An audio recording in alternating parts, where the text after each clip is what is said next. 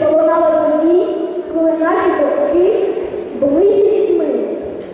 Для дітей того часу, які не знали, що таке війна, слова цієї пісні були просто ударом на державу про мир. Для дітей нашого покоління ця пісня набуває іншого змісту.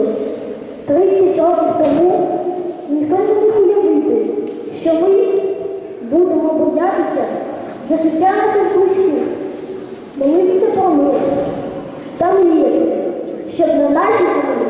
зупинилася війна.